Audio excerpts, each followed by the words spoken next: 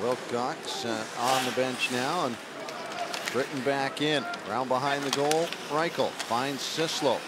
Quick back up, finding Griffith. Leipsic looks in, winds up, quick over, Sislo out front, Johnsson scores! Andreas Johnsson uncorks the Lightning and starts it out for the Toronto Marlies. Well, Andreas Johnsson just has played so well this second half of the season. He gets his 19th goal the year right here. But again, you win a face-off in the offensive zone. You've got the five forwards out there, and it's all about puck possession and movement.